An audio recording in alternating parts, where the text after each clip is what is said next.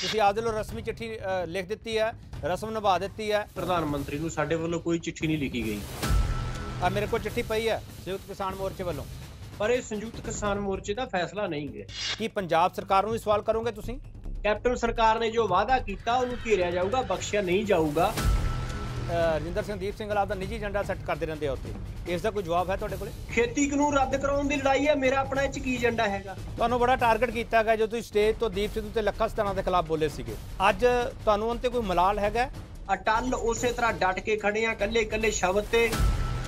ਜਦੋਂ ਇਸ ਲੜਾਈ ਨੂੰ ਸਿੱਖ ਵਰਸਸ ਕਾਮਰੇਡ ਪੇਸ਼ ਕੀਤਾ ਜਾਂਦਾ ਉਦੋਂ ਰਜਿੰਦਰ ਸਿੰਘ ਨੂੰ ਗੁੱਸਾ ਆਉਂਦਾ? ਮਨੁੱਖ ਦੀ ਤਾਕਤ ਹੁੰਦਾ, ਗੁੱਸਾ, ਜਿਹੜੇ ਲੋਕਾਂ ਨੂੰ ਗੁੱਸਾ ਆਉਣਾ ਹਟ ਜਾਂਦਾ ਹੈਗਾ, ਉਹ ਪੈਸਿਵ ਹੋ ਸਕਦੇ, ਉਹ ਜ਼ਿੰਦਗੀ 'ਚ ਗਲਤ ਦੇ ਖਿਲਾਫ ਕਦੇ ਲੜ ਹੀ ਨਹੀਂ ਸਕਦੇਗੇ।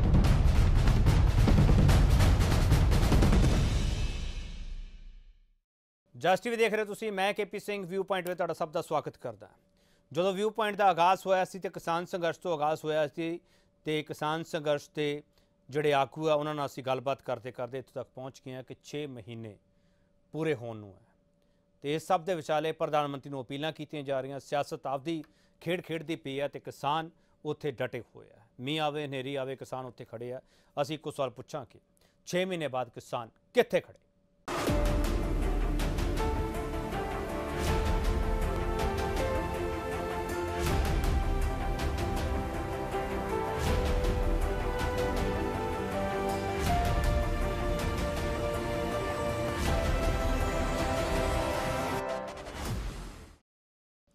ਤੇ ਇਹ ਸਭ ਦੇ ਲਈ ਗੱਲਬਾਤ ਕਰਨ ਦੇ ਲਈ ਸਾਡੇ ਨਾਲ ਮੌਜੂਦ ਨੇ ਕਿਰਤੀ ਕਿਸਾਨ ਯੂਨੀਅਨ ਦੇ ਅ, ਸੂਬਾਈ ਆਗੂ ਅਰਜਿੰਦਰ ਸਿੰਘ ਦੀਪ ਸਿੰਘ ਵਾਲਾ। ਜਿਨ੍ਹਾਂ ਨੂੰ ਲੈ ਕੇ ਵੀ ਬੜੇ ਸਵਾਲ ਖੜੇ ਹੋਏ ਪਰ ਉਹਨਾਂ ਸਵਾਲਾਂ ਦੇ ਵਿਚਾਲੋਂ ਇਹ ਜਵਾਬ ਲੱਭਦੇ ਲੱਭਦੇ 6 ਮਹੀਨੇ ਪੂਰੇ ਕਰਕੇ ਨੇ। ਅਰਜਿੰਦਰ ਸਿੰਘ ਦੀਪ ਸਿੰਘ ਵਾਲਾ ਸਰ ਬਹੁਤ ਸਵਾਗਤ ਹੈ ਜੀ ਤੁਹਾਡਾ। ਸ਼ੁਕਰੀਆ ਕੇਪੀ ਜੀ ਬਹੁਤ ਬਹੁਤ। ਅਰਜਿੰਦਰ ਸਿੰਘ ਜੀ ਸਰ ਪਹਿਲਾ ਸਵਾਲ ਤਾਂ ਇਹੀ ਹੈ ਸਾਰੇ ਲੋਕ ਪੁੱਛਦੇ ਪਏ ਆ 6 ਮਹੀਨੇ ਤੁਸੀਂ ਪੂਰੇ ਕਰ ਲਏ ਆ ਇਸ ਤੋਂ ਅੱਗੇ ਕੀ ਹੈ? ਦੇਖੋ ਸਾਡੀ ਲੜਾਈ ਜਿੰਨਾ ਚਿਰ ਖੇਤੀ ਕਾਨੂੰਨ ਰੱਦ ਨਹੀਂ ਹੁੰਦੇ ਉਹਨਾਂ ਸਮਾਂ ਇਹ ਲੜਾਈ ਜਾਰੀ ਰਹੂਗੀ।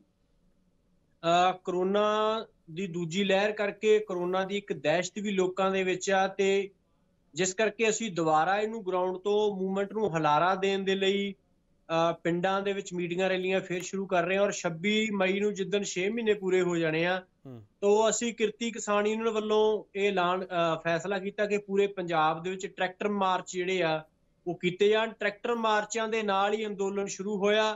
ਟਰੈਕਟਰਾਂ ਦੇ ਨਾਲ ਹੀ ਦਿੱਲੀ ਪਹੁੰਚੇ ਔਰ ਟਰੈਕਟਰ ਮਾਰਚ ਦੇ ਨਾਲ ਹੀ ਅਸੀਂ 6 ਮਹੀਨੇ ਜਿੱਦਣ ਪੂਰੇ ਹੋਣੇ ਆ ਉਹ ਰੋਸ ਪ੍ਰਦਰਸ਼ਨ ਜਿਹੜੇ ਹੈਗੇ ਆ ਉਹ ਕਰਾਂਗੇ।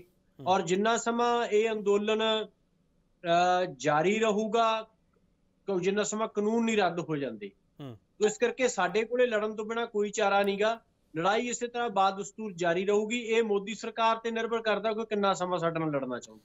ਅਰਿੰਦਰ ਸਿੰਘ ਜੀ ਤੁਸੀਂ ਕਹਿ ਰਹੇ ਹੋ ਕਿ ਸਰਕਾਰ ਤੇ ਨਿਰਭਰ ਕਰਦਾ ਕਿੰਨਾ ਸਮਾਂ ਨੇ ਲੜਨਾ ਹੈ। ਤੁਸੀਂ ਚਿੱਠੀ ਵੀ ਲਿਖ ਦਿੱਤੀ ਹੈ ਪ੍ਰਧਾਨ ਮੰਤਰੀ ਸਾਹਿਬ ਨੂੰ। ਇਹ ਰਸਮੀ ਚਿੱਠੀ ਮੰਨੀ ਹੈ ਇਹਨੂੰ ਇਸ ਨੂੰ ਕਿ ਕੱਲ ਨੂੰ ਤੁਹਾਡੇ ਤੇ ਸਵਾਲ ਨਾ ਖੜੇ ਹੋਣ ਕਿ ਕਰੋਨਾ ਕਾਲ ਦੇ ਵਿਚਾਲੇ ਕਿਸਾਨਾਂ ਨੇ ਆ ਜਿਹੜੀ ਉਹ ਗੱਲ ਅੱਗੇ ਨਹੀਂ ਤੋਰੀ ਸੀਗੀ। ਤੁਸੀਂ ਆਪਦੇ ਵੱਲੋਂ ਰਸਮੀ ਚਿੱਠੀ ਲਿਖ ਦਿੱਤੀ ਹੈ ਰਸਮ ਨਿਭਾ ਦਿੱਤੀ ਹੈ। ਪ੍ਰਧਾਨ ਮੰਤਰੀ ਜਾਂ ਪੀਐਮਓ ਵੱਲੋਂ ਕੋਈ ਰਸਮ ਨਿਭਾਈ ਜਾਊਗੀ? ਕੇਂਦਰੀ ਖੇਤੀਬਾੜੀ ਮੰਤਰੀ ਵੱਲੋਂ ਕੋਈ ਰਸਮ ਨਿਭਾਈ ਜਾਊਗੀ? ਨਹੀਂ ਜੀ ਅਸੀਂ ਕੋਈ ਚਿੱਠੀ ਨਹੀਂ ਲਿਖੀਗੀ ਪ੍ਰਧਾਨ ਮੰਤਰੀ ਨੂੰ ਸਾਡੇ ਵੱਲੋਂ ਕੋਈ ਚਿੱਠੀ ਨਹੀਂ ਲਿਖੀ ਗਈ ਆ ਮੇਰੇ ਕੋਲ ਚਿੱਠੀ ਪਈ ਹੈ। ਸੰਯੁਕਤ ਕਿਸਾਨ ਮੋਰਚੇ ਵੱਲੋਂ? ਨਹੀਂ ਜੀ ਇਹ ਸੰਯੁਕਤ ਕਿਸਾਨ ਮੋਰਚੇ ਦਾ ਇਸ ਤਰ੍ਹਾਂ ਦਾ ਫਿਲਹਾਲ ਕੋਈ ਫੈਸਲਾ ਨਹੀਂਗਾ। ਆ ਇਹ ਮੈਨੂੰ ਹਜੀ ਚਿੱਠੀ ਮੈਂ ਪੜ੍ਹੀ ਨਹੀਂ ਹੈ ਜਿਹੜੀ ਕੋਈ 9 ਮੈਂਬਰੀ ਕਮੇਟੀ ਆ ਉਹਦੇ ਵੱਲੋਂ ਹੈ ਸੰਯੁਕਤ ਕਿਸਾਨ ਮੋਰਚੇ ਵੱਲੋਂ ਕੋਈ ਚਿੱਠੀ ਜਿਹੜੀ ਹੈ ਪ੍ਰਧਾਨ ਮੰਤਰੀ ਨੂੰ ਨਹੀਂ ਲਿਖੀ ਗਈ। ਨਾ ਇਹ ਪੰਜਾਬ ਦੀਆਂ ਜਥੇਬੰਦੀਆਂ 'ਚ ਇਹ ਕੋਈ ਫੈਸਲਾ ਹੋਇਆ ਨਾ ਹੀ ਪੰਜਾਬ ਦੀਆਂ ਜਥੇਬੰਦੀਆਂ ਦੀ ਮੀਟਿੰਗ 'ਚ ਵਿਚਾਰਿਆ ਗਿਆ ਹੈਗਾ। ਇਹ 9 ਮੈਂਬਰੀ ਕਮੇਟੀ ਨੇ ਕੋਈ ਚਿੱਠੀ ਲਿਖੀ ਹੈ। ਤੁਸੀਂ ਇਸ ਤੁਸੀਂ ਇਸ ਚਿੱਠੀ ਦੀ ਮੁਖਾਲਫਤ ਕਰ ਰਹੇ ਹੋ? ਨਹੀਂ ਸਾਨੂੰ ਇਹਦੀ ਜਾਣਕਾਰੀ ਨਹੀਂ ਹੈ ਜੀ ਪਰ ਇਹ ਕਿਉਂ ਇਸ ਤਰ੍ਹਾਂ ਦਾ ਕੋਈ ਨਾ ਪੰਜਾਬ ਦੀਆਂ ਜਥੇਬੰਦੀਆਂ 'ਚ ਕੋਈ ਫੈਸਲਾ ਹੋਇਆ ਤੇ ਨਾ ਹੀ ਸੰਯੁਕਤ ਕਿਸਾਨ ਮੋਰਚੇ ਦੀ ਮੀਟਿੰਗ ਜਿਹੜੀ ਜਿੰਦੇ 'ਚ ਫੈਸਲੇ ਲਏ ਜਾਂਦੇ ਆ ਉਹਦੇ 'ਚ ਫੈਸਲਾ ਹੋਇਆ ਇਹ ਅ, ਜਾਣਕਾਰੀ ਹੈ ਪ੍ਰੈਸ ਵਾਲੇ ਵੀਰਾਂ ਤੋਂ ਹੀ ਮਿਲ ਰਹੀ ਆ ਕਿ ਸੰਯੁਕਤ ਕਿਸਾਨ ਮੋਰਚੇ ਦੀ 9 ਮੈਂਬਰੀ ਅ, ਕਮੇਟੀ ਹੈਗੀ ਆ ਉਹਦੇ ਵੱਲੋਂ ਕੋਈ ਚਿੱਠੀ ਲਿਖੀ ਗਈ ਆ ਪਰ ਇਹ ਸੰਯੁਕਤ ਕਿਸਾਨ ਮੋਰਚੇ ਦਾ ਫੈਸਲਾ ਨਹੀਂ ਹੈ। ਇਹਦੇ ਵਿੱਚ ਨਾਮ ਪਾਏ ਗਏ ਆ ਜੀ ਬਲਵੀਰ ਸਿੰਘ ਰਾਜੇਵਾਲ, ਦਰਸ਼ਨ ਦਰਸ਼ਨਪਾਲ, ਗੁਰਨਾਮ ਸਿੰਘ ਚੜੂਨੀ, ਹਨਨ ਮੋਲਾ, ਜਗਜੀਤ ਸਿੰਘ ਡੱਲੇਵਾਲ, ਜੋਗਿੰਦਰ ਸਿੰਘ ਉਗਰਾਹਾਂ ਸ਼ੇਖ ਕੁਮਾਰ ਕੱਕਾ ਜੀ, ਜੋਗਿੰਦਰ ਯਾਦਵ ਯੋਧਵੀਰ ਸਿੰਘ। ਔਰ ਪਰ ਇਸ ਕਮੇਟੀ ਨੂੰ ਕੋਈ ਜਿਹੜੇ ਫੈਸਲੇ ਲੈਣ ਦਾ ਅਧਿਕਾਰ ਨਹੀਂਗਾ ਸਿਰਫ ਤਾਲਮੇਲ ਕਮੇਟੀ ਆ ਕਿ ਜੋ ਫੈਸਲੇ ਸੰਯੁਕਤ ਕਿਸਾਨ ਮੋਰਚਾ ਕਰੂਗਾ, ਉਹਨਾਂ ਨੂੰ ਪ੍ਰੈਸ 'ਚ ਕਨਵੇ ਕਰਨਾ ਜਾਂ ਉਹਨੂੰ ਲਾਗੂ ਕਰਾਉਣ ਦੇ ਲਈ ਜਿਹੜੇ ਕੁਝ ਕੰਮ ਇਹ ਕਮੇਟੀ ਜਿਹੜੀ ਹੈਗੀ ਕਰ ਸਕਦੀ ਆ। ਕਿਉਂਕਿ ਸੰਯੁਕਤ ਕਿਸਾਨ ਮੋਰਚਾ ਜਿੰਦੇ 'ਚ ਪੰਜਾਬ ਦੀਆਂ ਜਥੇਬੰਦੀਆਂ ਨੇ ਦੇਸ਼ ਭਰ ਦੀਆਂ ਜਥੇਬੰਦੀਆਂ ਨੇ ਜੋ 40 ਮੈਂਬਰ ਸਰਕਾਰ ਦੇ ਨਾਲ ਮੀਟਿੰਗ ਲਈ ਗੱਲਬਾਤ ਕਰਨ ਜਾਂਦੇ ਆ ਤੇ ਉਹਦੇ 'ਚ ਕੁਝ ਹੋਰ ਜਥੇਬੰਦੀਆਂ ਸ਼ਾਮਲ ਨੇ ਉਹਨਾਂ ਦੀ ਜਿਹੜੀ ਵੱਡੀ ਮੀਟਿੰਗ ਹੁੰਦੀ ਆ ਉਹਦੇ 'ਚ ਫੈਸਲੇ ਲਏ ਜਾਂਦੇ ਹੁੰਦੇ ਆ। ਔਰ ਫੈਸਲੇ ਲੈਣ ਦਾ ਅਧਿਕਾਰ ਸਿਰਫ ਉਸ ਬਾਡੀ ਨੂੰ ਆ ਜੀ। ਰਜਿੰਦਰ ਸਿੰਘ ਚਲੋ ਤੁਸੀਂ ਚਿੱਠੀ ਦੇ ਬਾਰੇ ਜਿਹੜੀਆਂ ਗੱਲਾਂ ਕਹਿਣੀਆਂ ਸੀ ਤੁਸੀਂ ਕਹਿਤੀਆਂ। ਰਜਿੰਦਰ ਸਿੰਘ ਗੱਲਬਾਤ ਹੋਊਗੀ ਕੇਂਦਰ ਸਰਕਾਰ ਨਾਲ ਜਾਂ ਨਹੀਂ ਹੋ ਪਾ ਰਹੀ? ਕੋਈ ਉਮੀਦ ਹੈਗੀ ਹੈ ਕਿਸਾਨ ਯੂਨੀਅਨ ਨੂੰ? ਦੇਖੋ ਕੇਪੀ ਜੀ ਸਾਡਾ ਕੰਮ ਹੈਗਾ ਇਹ ਖਿਲਾਫ ਇਹ ਸਰਕਾਰ ਦੇ ਖਿਲਾਫ ਲੜਨਾ ਇਹਨਾਂ ਖੇਤੀ ਕਾਨੂੰਨਾਂ ਦੇ ਖਿਲਾਫ ਲੋਕਾਂ ਨੂੰ ਲੜਾਉਣਾ। ਸਰਕਾਰ ਦੀ ਬਾਹ ਮਰੋੜ ਕੇ ਤਾਂ ਕਿਸ ਤਰ੍ਹਾਂ ਗੱਲਬਾਤ ਕਰਵਾਈ ਜਾ ਸਕਦੀ ਹੈ? ਜਿੰਨਾ ਸਾਡੇ ਅੰਦੋਲਨ ਦਾ ਦਬਾਅ ਹੋਊਗਾ ਸਰਕਾਰ ਨੇ ਉਹਦੀ ਉਹਦੇ ਚੋਂ ਹੀ ਗੱਲਬਾਤ ਕਰਨੀ ਆ। ਤੋ ਜਿਵੇਂ ਜਿਵੇਂ ਹੁਣ ਸਿਆਸੀ ਤੌਰ ਤੇ ਵੀ ਬੀਜੇਪੀ ਨੂੰ ਪਛਾੜ ਲੱਗ ਰਹੀ ਆ ਬੰਗਾਲ 'ਚ ਹਾਰੀ ਆ ਯੂਪੀ 'ਚ ਹਾਰੀ ਆ ਤੋ ਅੰਦੋਲਨ ਅਸੀਂ ਤੇਜ਼ ਕਰਨ ਬਾਰੇ ਜਿਹੜਾ ਹੈਗਾ ਸੋਚ ਰਹੇ ਆ। ਜਿਵੇਂ ਜਿਵੇਂ ਅੰਦੋਲਨ ਤੇਜ਼ ਹੋਊਗਾ ਦਬਾਅ ਵਧੂਗਾ ਉਹਦੇ 'ਚ ਸਰਕਾਰ ਨੇ ਗੱਲਬਾਤ ਕਰਨੀ ਆ। ਜੇ ਸਰਕਾਰ ਨੂੰ ਕਹੀਏ ਵੀ ਤੁਸੀਂ ਬੇਨਤੀ ਕਰੀਏ ਵੀ ਸਾਡੇ ਨਾਲ ਗੱਲ ਕਰ ਲੈ ਤੇ ਜੇ ਬੇਨਤੀ ਕਰਕੇ ਗੱਲਬਾਤ ਹੋਊਗੀ ਤਾਂ ਸਰਕਾਰ ਨੇ ਉਹ 'ਚ ਮੰਗ ਕਿਹੜੀ ਮੰਨਣੀ ਹੈਗੀ? ਸਰਕਾਰ ਉਹ 'ਚੋਂ ਕੋਈ ਮੰਗ ਨਹੀਂ ਮੰਨੂਗੀ। ਜੇ ਸਰਕਾਰ ਤੇ ਦਬਾਅ ਵਧੂਗਾ ਉਹਦੇ 'ਚੋਂ ਗੱਲਬਾਤ ਹੋਊਗੀ ਸਰਕਾਰ ਮੰਗ ਉਹਦੇ 'ਚੋਂ ਹੀ ਮੰਨੂਗੀ। ਤੁਸੀਂ ਵੈਸਟ ਬੰਗਾਲ ਵੀ ਜਾ ਕੇ ਆਏ ਹੋ ਰਜਿੰਦਰ ਸਿੰਘ ਉੱਥੇ ਤੁਸੀਂ ਬੋਲ ਕੇ ਆਏ ਹੋ ਉੱਥੇ ਗੱਲਬਾਤ ਕੀਤੀ ਹੈ ਤੁਸੀਂ ਸਾਰੀ। ਕਿ ਤੁਹਾਨੂੰ ਲੱਗਦਾ ਕਿ ਕਿਸਾਨਾਂ ਦਾ ਅਸਰ ਪਿਆ ਉੱਥੇ ਵੈਸਟ ਬੰਗਾਲ ਦੇ ਇਲੈਕਸ਼ਨਸ ਦੇ ਵਿੱਚ? ਬਿਲਕੁਲ ਜੀ ਇਹਦਾ ਅਸਰ ਪਿਆ ਤੁਸੀਂ ਇਸ ਗੱਲ ਤੋਂ। ਮੈਂ ਤੁਹਾਨੂੰ ਦੱਸਦਾ ਕਿ ਸਭ ਤੋਂ ਪਹਿਲਾਂ ਸਾਨੂੰ ਕਲਕੱਤੇ ਦੇ ਕੁਝ ਵਿਦਿਆਰਥੀ ਸਾਨੂੰ ਇੱਥੇ ਸਿੰਘੂ ਬਾਰਡਰ ਤੇ ਮਿਲੇ ਸੀਗੇ। ਇਹ ਦਸੰਬਰ ਦੇ ਲਾਸਟ ਦੀ ਗੱਲ ਆ ਜੀ। ਜਿੰਦੇ ਜੋ ਸਾਡੇ ਨਾਲ ਉਹ ਵਿਚਾਰ ਚਰਚਾ ਕਰਕੇ ਗਏ। ਉਸ ਤੋਂ ਬਾਅਦ ਜਨਵਰੀ ਦੇ ਸ਼ੁਰੂ ਚ ਉਹ ਵਿਦਿਆਰਥੀ ਮਿਲੇ। ਔਰ ਉਦੋਂ ਕਹਿ ਰਹੇ ਸੀ ਕਿ ਜੋ ਬੰਗਾਲ ਦੇ ਵਿੱਚ ਅਹ, ਦੂਜੀਆਂ ਪਾਰਟੀਆਂ ਤੋਂ ਲੋਕ ਵੱਧ ਜਾਂਦੇ ਉਹ ਸੋਚ ਰਹੇ ਕਿ ਇਸ ਵਾਰ ਬੀਜੇਪੀ ਨੂੰ ਅਜਮਾ ਕੇ ਦੇਖਿਆ ਜਾਵੇ ਇਹ ਜਿਹੜਾ ਟ੍ਰੈਂਡ ਆ ਉਸ ਪਾਸੇ ਬੰਗਾਲ ਚ ਬਣ ਰਿਹਾ ਸੀ। ਬੰਗਾਲ ਦੇ ਜਿਨ੍ਹਾਂ ਚ ਕੁਝ ਡੀ ਵਿਦਿਆਰਥੀ ਸੀ ਕੁਝ ਇਸ ਤਰ੍ਹਾਂ ਦੇ ਵਿਦਿਆਰਥੀ ਸਾਨੂੰ ਮਿਲੇ। ਉਹਨਾਂ ਨੇ ਕਿਹਾ ਕਹਿੰਦੇ ਪਰ ਇਸ ਮੋਰਚੇ ਤੋਂ ਬਾਅਦ ਜਿਹੜਾ ਵੋਟ ਸ਼ਿਫਟ ਹੋ ਰਿਹਾ ਸੀ ਬੀਜੇਪੀ ਵਾਲੇ ਪਾਸੇ ਉਹ ਇਸ ਅੰਦੋਲਨ ਕਰਕੇ ਰੁਕ ਗਿਆ। ਔਰ ਉਹਦੇ ਚੋਂ ਹੀ ਜਿਹੜੀ ਉੱਥੇ ਬੰਗਾਲ ਦੇ ਵਿੱਚ ਜਿਹੜੀ ਕਿਸਾਨੀ ਜਿਹੜੇ ਖੇਤੀ ਕਾਨੂੰਨ ਉੱਤੇ ਇੱਕ ਚਰਚਾ ਹੋਣੀ ਸ਼ੁਰੂ ਹੋਈ ਔਰ ਉਹਦੇ ਚੋਂ ਬੰਗਾਲ ਦੇ ਲੋਕਾਂ ਨੇ ਉੱਥੋਂ ਦੀਆਂ ਜਥੇਬੰਦੀਆਂ ਨੇ ਸੰਯੁਕਤ ਕਿਸਾਨ ਮੋਰਚੇ ਨੂੰ ਸੱਦਾ ਦਿੱਤਾ ਔਰ ਉਹਦਾ ਨਤੀਜਾ ਇਹ ਨਿਕਲਿਆ ਕਿ ਉੱਥੋਂ ਜਿਹੜੀ ਬੀਜੇਪੀ ਸੀ ਬੁਰੀ ਤਰ੍ਹਾਂ ਹਾਰੀ। ਔਰ ਇਸੇ ਗੱਲ ਨੂੰ ਤਸਦੀਕ ਕਰਦਾ ਜੋ ਸੀਐਸਡੀਐਸ ਦਾ ਪਿਛਲੇ ਦਿਨੀ ਇੱਕ ਜਿਹੜਾ ਸਰਵੇ ਆਇਆ, ਜਿੰਦੇ ਵਿੱਚ ਬਹੁਤ ਸਾਫ਼ ਲਿਖਿਆ ਕਿ ਮਿਡਲ ਕਲਾਸ ਜਿਹੜੀ ਹੈਗੀ ਆ, ਉਹ ਅਲੱਗ-ਅਲੱਗ ਸੂਬਿਆਂ ਦੀ ਜਿੱਥੇ ਇਲੈਕਸ਼ਨ ਹੋਏ ਆ, ਉਹ ਵੀ ਇਹ ਚਾਹ ਰਹੀ ਹੈਗੀ ਆ, ਜਿੰਦੇ ਚ ਕੁਝ ਸੂਬਿਆਂ 'ਚ 26 ਤੋਂ 30% ਜਿਹੜੀ ਪੱਕੀ ਵੋਟ ਆ ਬੀਜੇਪੀ ਦੀ ਉਹ ਵੀ ਇਹ ਕਹਿ ਰਹੀ ਆ ਕਿ ਕਿਸਾਨ ਜਥੇਬੰਦੀਆਂ ਨਾਲ ਗੱਲਬਾਤ ਹੋਣੀ ਚਾਹੀਦੀ ਔਰ ਖੇਤੀ ਕਾਨੂੰਨ ਜਿਹੜੇ ਆ ਉਹ ਰੱਦ ਹੋਣੇ ਚਾਹੀਦੇ ਹੈਗੇ ਤੋਂ ਇਹ ਕਿਸਾਨ ਅੰਦੋਲਨ ਦਾ ਅਸਰ ਤਾਂ ਬੰਗਾਲ ਦੇ ਵਿੱਚ ਪਿਆ ਯੂਪੀ ਦੇ ਵਿੱਚ ਵੀ ਪਿਆ। ਯੂਪੀ ਤੁਸੀਂ ਹੁਣ ਪੱਛਮੀ ਯੂਪੀ ਦੇ ਵਿੱਚ 908 ਸੂ- ਅਹ, ਜਿਹੜੀਆਂ ਸੀਟਾਂ ਸੀ ਜ਼ਿਲ੍ਹਾ ਪਰਿਸ਼ਦ ਦੀਆਂ ਜਿੰਦੇ ਚੋਂ ਸਿਰਫ 211 ਸੀਟਾਂ ਬੀਜੇਪੀ ਜਿੱਤ ਜਿੱਤ ਸਕੀ ਆ। ਹੁਣ ਕਰੀਬਨ 700 ਸੀਟ ਯਾਨੀ ਕਿ ਉਹ ਬੀਜੇਪੀ ਹਾਰੀ ਆ 908 ਸੀਟਾਂ ਦੇ ਵਿੱਚੋਂ। ਔਰ ਇਹ ਪੱਛਮੀ ਯੂਪੀ ਚ ਜਿੱਥੇ ਸਾਡੀ ਕਿਸਾਨ ਮੂਵਮੈਂਟ ਦਾ ਅਸਰ ਆ ਆਮ ਤੌਰ ਤੇ ਪੰਚਾਇਤੀ ਚੋਣਾਂ 'ਚ ਜਿਹੜੀ ਪਾਰਟੀ ਰਾਜ ਕਰ ਰਹੀ ਹੁੰਦੀ ਆ ਉਹਦੀ ਜਿੱਤ ਹੁੰਦੀ ਆ। ਪਰ ਇਹ ਕਿਸਾਨ ਅੰਦੋਲਨ ਦਾ ਅਸਰ ਹੈਗਾ ਕਿ ਬੀਜੇਪੀ ਜਿਹੜੀ ਹੈਗੀ ਆ ਹਾਰ ਰਹੀ ਆ। ਕਿਸਾਨ ਅੰਦੋਲਨ ਦਾ ਅਸਰ ਆ ਕਿ ਉਹ ਅਹ, ਪੰਜਾਬ 'ਚ ਕੋਈ ਸਰਗਰਮੀ ਕਰਨ ਜੋਗੀ ਨਹੀਂ। ਕਿਸਾਨ ਅੰਦੋਲਨ ਦਾ ਅਸਰ ਆ ਕਿ ਹਰਿਆਣੇ 'ਚ ਕੋਈ ਸਰਗਰਮੀ ਕਰਨ ਜੋਗੀ ਨਹੀਂ ਹੈਗੀ। ਤਾਂ ਕਿਸਾਨ ਅੰਦੋਲਨ ਦਾ ਅਸਰ ਤਾਂ ਹਰ ਪਾਸੇ ਜਿਹੜਾ ਬੀਜੇਪੀ ਤੇ ਉਹ, ਉਹਨੂੰ ਸਿਆਸੀ ਤੌਰ ਤੇ ਪਿੱਛੇ ਧੱਕ ਹੀ ਰਿਹਾ। ਚਲੋ, ਮੈਂ ਇੱਕ ਛੋਟਾ ਬ੍ਰੇਕ ਲਵਾਂਗਾ ਰਜਿੰਦਰ ਸਿੰਘ ਦੀਪ ਸਿੰਘ ਵਾਲਾ ਵਾਪਸ ਆਵਾਂਗੇ ਤੁਹਾਡੇ ਕੋਲੇ। ਕਿਸਾਨ ਅੰਦੋਲਨ ਦਾ ਅਸਰ ਤਾਂ ਹੋਇਆ, ਪਰ ਜਿਹੜੀ ਖੇਤੀ ਕਾਨੂੰਨਾਂ ਦੀ ਗੱਲ ਹੈ ਵਾਰ-ਵਾਰ ਕਰਦੇ ਪਏ, ਖੇਤੀ ਕਾਨੂੰਨਾਂ ਦੀ ਗੱਲ ਹੁਣ ਕਿੰਨੀ ਹੋ ਰਹੀ ਹੈ, ਆਮ ਲੋਕਾਂ ਤੱਕ ਕਿੰਨਾ ਅਸਰ ਹੋਇਆ, ਕਿ ਆਮ ਲੋਕ ਸਮਝ ਸਕੇ ਆ ਕਿ ਐਸੈਂਸ਼ੀਅਲ ਕਮੋਡਿਟੀ ਐਕਟ ਹੈ, ਜਿਹੜਾ ਉਹਨਾਂ ਤੇ ਕੀ ਪ੍ਰਭਾਵ ਪਾਵੇਗਾ, ਇਹ ਸਿਰਫ ਮਸਲਾ ਕੱਲਾ ਕਿਸਾਨਾਂ ਤੱਕ ਸੀਮਤ ਨਹੀਂ ਰਹਿ ਗਿਆ। ਵਾਪਸ ਆ ਰਹੇ ਹਾਂ ਰਜਿੰਦਰ ਸਿੰਘ ਦੀਪ ਸਿੰਘ ਵਾਲਾ ਸਾਡੇ ਨਾਲ ਮੌਜੂਦ ਨੇ।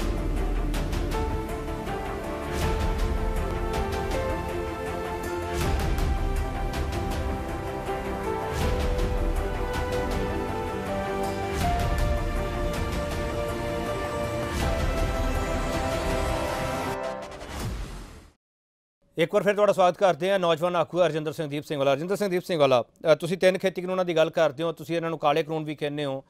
ਕਿ ਆਮ ਲੋਕਾਂ ਤੱਕ ਇਹ ਗੱਲ ਤੁਸੀਂ ਪਹੁੰਚਾ ਸਕੇ ਹੋ, ਉਹਨਾਂ ਨੂੰ ਸਮਝਾ ਸਕੇ ਹੋ ਕਿ ਕੱਲਾ ਕਿਸਾਨਾਂ ਦਾ ਮਸਲਾ ਨਹੀਂ ਹੈਗਾ, ਇਹ ਜਨ ਜਨ ਦਾ ਮਸਲਾ ਹੈ ਕਿ ਲੋਕ ਤੁਹਾਡਾ ਇਤਫਾਕ ਰੱਖਣ ਲੱਗ ਪਏ ਜਾਂ ਨਹੀਂ? ਜਾਂ ਹਜੇ ਵੀ ਤੁਹਾਨੂੰ ਲੱਗਦਾ ਹੈ ਕਿ ਲੋਕਾਂ ਤੱਕ ਹਜੇ ਤੱਕ ਅਸੀਂ ਸਮਝਾ ਨਹੀਂ ਪਾਏ, ਲੋਕਾਂ ਤੱਕ ਅਸੀਂ ਆਪਣੀ ਗੱਲ ਰੱਖ ਨਹੀਂ ਸਕੇ?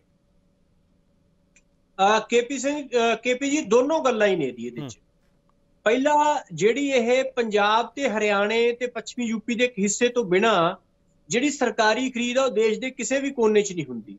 ਜਿਹੜੀ ਅਨਾਜ ਦੀ 100% ਦੀ ਪੈਦਾਵਾਰ ਉਹ 'ਚ ਸਿਰਫ 6% ਦੀ ਸਰਕਾਰੀ ਖਰੀਦ ਹੁੰਦੀ ਆ 94% ਜਿਹੜਾ ਹੈਗਾ, ਉਹ ਪ੍ਰਾਈਵੇਟ ਕੰਪਨੀਆਂ ਜਾਂ ਪ੍ਰਾਈਵੇਟ ਵਪਾਰੀ ਜਿਹੜੇ ਹੈਗੇ ਆ, ਅਨਾਜ ਆ, ਉਹ ਖਰੀਦਦੇ ਹੈਗੇ ਆ। ਤੋਂ ਜਿਹੜੀ ਦੇਸ਼ ਭਰ ਦੇ ਵਿੱਚ ਮੂਵਮੈਂਟ ਫੈਲੀ ਆ, ਉਹਦੇ 'ਚ ਦੋ ਫੈਕਟਰ ਨੇ। ਇੱਕ ਤਾਂ ਐਮਐਸਪੀ ਨੂੰ ਕਾਨੂੰਨੀ ਰਾਈਟ ਦੇਣ ਵਾਲਾ ਔਰ ਦੂਜਾ ਜਿਹੜਾ ਅਸੈਂਸ਼ੀਅਲ ਕਮੋਡਿਟੀ ਦੀ ਅਮੈਂਡਮੈਂਟ ਹੈਗੀ ਆ 2020 ਉਹ। ਕਿਉਂਕਿ ਜਿਹੜੀ ਅਸੈਂਸ਼ੀਅਲ ਕਮੋਡਿਟੀ ਐਕਟ ਨੂੰ ਪਿਛਲੇ 20 ਸਾਲਾਂ ਤੋਂ ਕੇਂਦਰ 'ਚ ਜਿੰਨੀਆਂ ਸਰਕਾਰਾਂ ਆਈਆਂ ਉਹਨਾਂ ਨੇ ਖਤਮ ਕਰਨ ਦੀ ਕੋਸ਼ਿਸ਼ ਕੀਤੀ ਹੈਗੀ ਆ। ਮਨਟੋਕ ਸਿੰਘ ਆਲੂਵਾਲੀਆ ਦੀ 2001 ਦੀ ਰਿਪੋਰਟ ਹੈਗੀ ਆ ਖੇਤੀ 'ਚ ਰੋਜ਼ਗਾਰ ਦੇ ਮੌਕਿਆਂ ਬਾਰੇ, ਜਿੰਦੇ 'ਚੋਂ ਪ੍ਰਾਈਵੇਟ ਇਨਵੈਸਟਮੈਂਟ ਦੀ ਗੱਲ ਲੈ ਕੇ ਆਉਂਦੇ ਆ। ਉਸ ਤੋਂ ਬਾਅਦ 2001 ਦੇ ਵਿੱਚ ਹੀ ਸ਼ੰਕਰ ਲਾਲ ਗੁਰੂ ਦੀ ਕਮੇਟੀ ਦੀ ਰਿਪੋਰਟ ਆਉਂਦੀ ਆ।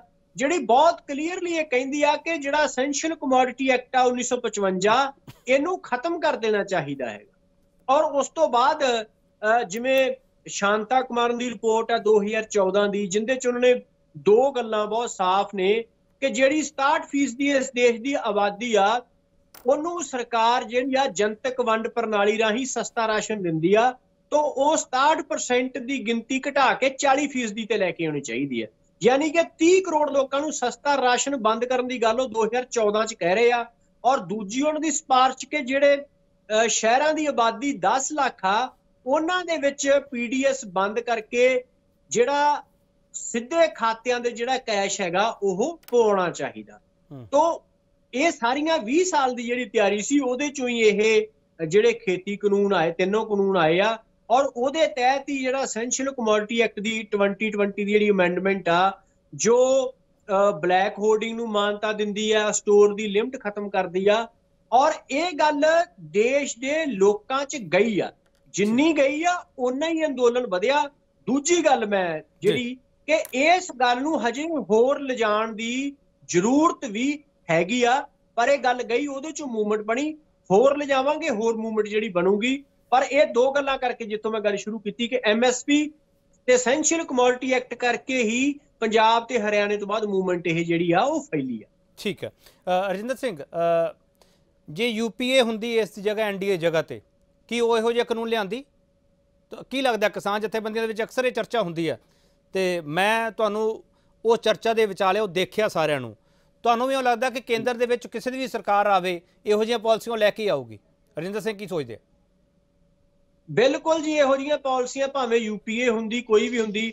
ਤੁਸੀਂ ਦੇਖੋ ਕਿ ਡਾਕਟਰ ਮਨਮੋਹਨ ਸਿੰਘ ਨੇ ਹਜੇ ਤੱਕ ਇਹਨਾਂ ਕਾਨੂੰਨਾਂ ਦਾ ਵਿਰੋਧ ਨਹੀਂ ਕੀਤਾਗਾ ਕਿਉਂਕਿ ਇਸ ਦੇਸ਼ ਦੇ ਵਿੱਚ ਡਾਕਟਰ ਮਨਮੋਹਨ ਸਿੰਘ ਹੋਰੀ ਇਹ ਨੀਤੀਆਂ ਸਭ ਤੋਂ ਪਹਿਲਾਂ 1991 ਦੇ ਵਿੱਚ ਜਦੋਂ ਡਾਕਟਰ ਨਰਸਿਮਹਾ ਰਾਓ ਦੀ ਸਰਕਾਰ ਸੀ ਜਦੋਂ ਵਿੱਤ ਮੰਤਰੀ ਬਣਿਆ ਉਹ ਲੈ ਕੇ ਆਏ ਆ ਜਦੋਂ ਸੰਵਿਧਾਨ ਦੀ 73ਵੀਂ ਤੇ 74ਵੀਂ ਸੋਧ ਹੁੰਦੀ ਆ ਜਿੰਦੇ ਤਹਿਤ ਸਰਕਾਰ ਜਿਹੜੀ ਸਿਹਤ ਸਿੱਖਿਆ ਰੋਜ਼ਗਾਰ ਬਿਜਲੀ ਪਾਣੀ ਸਾਰੇ ਮਹਿਕਮੇ ਜਿਹੜੇ ਅਦਾਰੇ ਆ ਉਹ ਪੰਚਾਇਤਾਂ ਨੂੰ ਦੇ ਰਹੀ ਆ ਪੰਚਾਇਤਾਂ ਨੂੰ ਵੱਧ ਅਧਿਕਾਰ ਦੇ ਨਾਮ ਤੇ ਉਹ ਆਪਣੀਆਂ ਜ਼ਿੰਮੇਵਾਰੀਆਂ ਤੋਂ ਭੱਜੀ ਆ। ਉਸ ਤੋਂ ਬਾਅਦ ਜਿੰਨੀਆਂ ਵੀ ਕੇਂਦਰ 'ਚ ਸਰਕਾਰਾਂ ਆਈਆਂ ਸੂਬੇ 'ਚ ਸਰਕਾਰਾਂ ਆਈਆਂ ਸਾਰੀਆਂ ਨੇ ਉਹ ਨੀਤੀਆਂ ਫੋਲੋ ਕੀਤੀਆਂ ਜਿੰਦਾ ਨਤੀਜਾ ਇਹ ਆ ਕਿ ਅੱਜ ਸਰਕਾਰ ਹੀ ਸਰਕਾਰੀ ਆ ਬਾਕੀ ਸਭ ਕੁਝ ਪ੍ਰਾਈਵੇਟ ਆ। ਸਰਕਾਰ ਇੱਕ ਵੀ ਜ਼ਿੰਮੇਵਾਰੀ ਜਿਹੜੀ ਆ ਨਿਭਾਉਣ ਨੂੰ ਤਿਆਰ ਨਹੀਂ ਗਈ ਔਰ ਪਿਛਲੇ 20 ਸਾਲ ਜੋ ਇਹ ਖੇਤੀ ਦੇ ਵਿੱਚ ਪ੍ਰਾਈਵੇਟ ਇਨਵੈਸਟਮੈਂਟ ਕਰਨ ਦੀ ਗੱਲ ਹੋਈ ਆ ਔਰ ਇਸ ਤਰ੍ਹਾਂ ਦੇ ਕਾਨੂੰਨ ਲਿਆਉਣ ਦੀ ਗੱਲ ਹੋਈ ਆ, ਉਹਦੇ ਚ ਯੂਪੀਏ ਐਨਡੀਏ ਔਰ ਜਿੰਨੀਆਂ ਹੋਰ ਪਾਰਟੀਆਂ ਦੀਆਂ ਸਰਕਾਰਾਂ ਆਈਆਂ, ਸਾਰੀਆਂ ਹੀ ਜਿਹੜੀਆਂ ਸ਼ਾਮਲ ਹੋ ਰਹੀਆਂ ਨੇ ਔਰ ਜਿਹੜੀਆਂ ਸਿਆਸੀ ਪਾਰਟੀਆਂ ਜਿਹਦਾ ਵਿਰੋਧ ਕਰ ਰਹੀਆਂ ਨੇ, ਉਹ ਇੱਕ ਵੱਡੀ ਮੂਵਮੈਂਟ ਹੋਣ ਕਰਕੇ ਉਹਨਾਂ ਦੀ ਮਜਬੂਰੀ ਬਣ ਗਈ ਆ ਅਦਰਵਾਈਜ਼ ਉਹ ਇਹਨਾਂ ਨੀਤੀਆਂ ਦੇ ਖਿਲਾਫ ਕੋਈ ਵੀ ਸਿਆਸੀ ਪਾਰਟੀ ਨਹੀਂ ਗਈ ਰਜਿੰਦਰ ਸਿੰਘ ਪੰਜਾਬ ਸਰਕਾਰ ਨੇ ਵੀ ਤੁਹਾਡੇ ਨਾਲ ਬੜੇ ਵਾਅਦੇ ਕੀਤੇ ਸੀ ਚੋਣਾਂ ਤੋਂ ਪਹਿਲਾਂ ਜਦੋਂ ਸਰਕਾਰ ਬਣ ਗਈ ਉਸ ਤੋਂ ਬਾਅਦ ਉਹਨਾਂ ਨੇ ਕਿਹਾ ਸੀ ਪ੍ਰੋਮਿਸ ਆਪਦੇ ਫੁੱਲਫਿਲ ਕਰਾਂਗੇ। ਜੋ ਕਿਸਾਨਾਂ ਨਾਲ ਵਾਅਦੇ ਕੀਤੇ ਗਏ ਸੀਗੇ ਕੀ ਕੇਂਦਰ ਤੋਂ ਇਹ ਸਾਰਾ ਕੁਝ ਕਰਵਾ ਕੇ ਤੁਸੀਂ ਜੇ ਤੁਹਾਡੀ ਇਹ ਸੰਘਰਸ਼ ਜਿੱਤ ਹਾਸਲ ਕਰਦਾ ਹੈ, ਕੀ ਪੰਜਾਬ ਸਰਕਾਰ ਨੂੰ ਵੀ ਸਵਾਲ ਕਰੋਗੇ ਤੁਸੀਂ? ਜਿਹੜੇ ਉਹਨਾਂ ਨੇ ਤੁਹਾਡੇ ਕਰਜ਼ਾ ਮਾਫੀ ਦਾ ਤੇ ਹੋਰ ਤੁਹਾਨੂੰ ਜਿਹੜੀਆਂ ਸਹੂਲਤਾਂ ਦੇਣੀਆਂ ਸੀ ਉਹ ਵਾਅਦੇ ਤੁਹਾਡੇ ਨਾਲ ਕੀਤੇ ਸੀਗੇ? ਉਹ ਪੂਰੇ ਨਹੀਂ ਕੀਤੇ ਗਏ?